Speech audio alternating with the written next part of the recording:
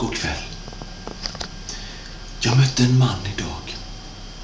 Han kom gående längs vägen med krökt rygg och grånat skägg. Folk som såg honom tänkte att han ingenting kunna.